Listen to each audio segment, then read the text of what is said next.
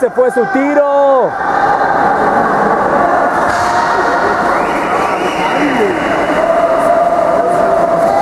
¿Por qué no tiró Ernesto, güey?